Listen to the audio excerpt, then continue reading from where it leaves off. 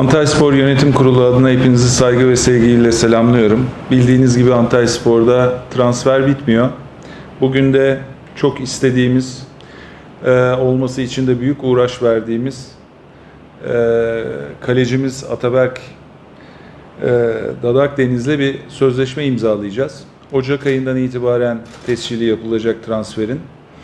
Bildiğiniz gibi stratejilerimiz doğrultusunda gençlere yatırım yapmaya devam ediyoruz. Diğer transferlerimizle de ilgili bir bilgilendirmede bulunmak isterim. Şu ana kadar 14 transfer gerçekleştirdik ve bu transferlerin yaş ortalaması 23.7. Giden 7 futbolcumuzun da yaş ortalaması 30'du.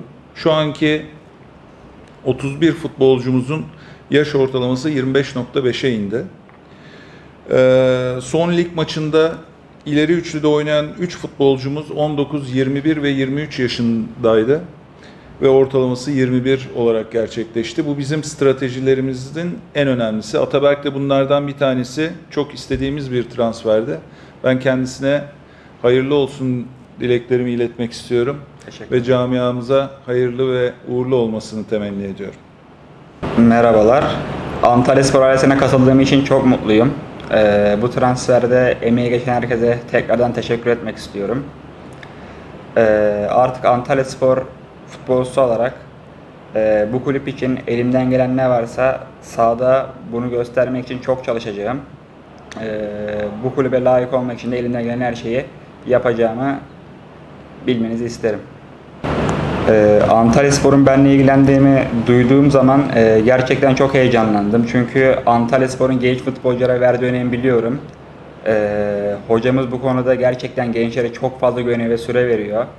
Ee, ben de burada olmaktan dolayı çok mutluyum. Ee, Antalya Spor için elimden gelen her şeyi vereceğim.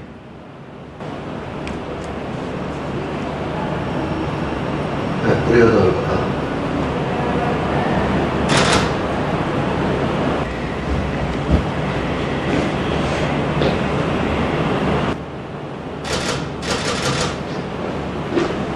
El sallamaya devam edebilir miyiz?